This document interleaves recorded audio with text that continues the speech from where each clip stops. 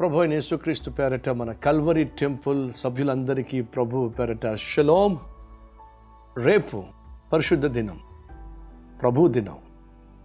దేవుని సన్నిధిలో మనం అందరం కలిసి సమాజముగా కూడుకొని ఒక కుటుంబముగా చేరి ఆరాధించే అద్భుతమైన దినం. ఇప్పటి వరకు దేవుడు మనకు ఎన్నో మేలులు చేశాడు. ఎన్నో ఆశ్చర్య కార్యాలు జరిగించాడు. ఇంకా జరిగించడానికి ఇష్టపడుతున్నాడు. కాబట్టే ఈ చక్కని వాగ్దానాన్ని మనకిస్తున్నాడు. ఏమిటి ఆ వాగ్దానం? మున్నపట్టి కంటే అధికమైన మేలు మీకు కలుగ చేస్తాను. ఎహెస్కేలు గ్రంథం ముప్పై ఆరు పదకొండవ వచనం.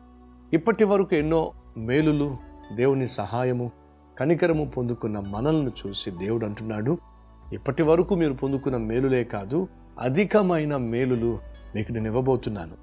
అధికమైన ఆశీర్వాదాలు మీకు పంచిపెట్టబోతున్నాను.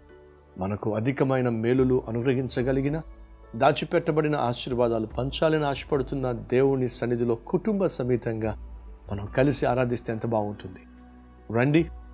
ఒకవేళ పోయిన వారం ఏ కారణం చేతైనా దేవుని సన్నిధికి రాలేకపోతే రేపు తప్పక దేవుని సన్నిధిలో కుటుంబ సమేతంగా ఆరాధించడానికి రావలసిందిగా మిమ్మల్ని ఆహ్వానిస్తున్నాను.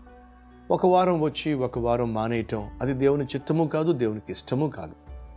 మానక క్రమము తప్పక సమాజముగా కూడుకొనుడి బైబిల్ సెలవిస్తుంది.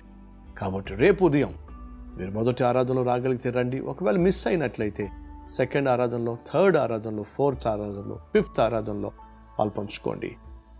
ఏదైనా కారణం చేత మీరు ఎప్పుడు వచ్చే ఆరాధనలో పాల్పంచుకోలేకపోతే ఐదు ఆరాధనలు ఉన్నాయి.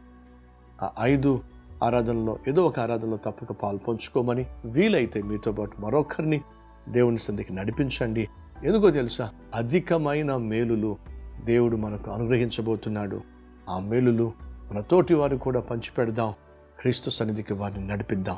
తప్పక మీరు మీ కుటుంబంతో స్నేహితులతో దేవుని సన్నిధికి రేపటి దినమున వస్తారు కదూ?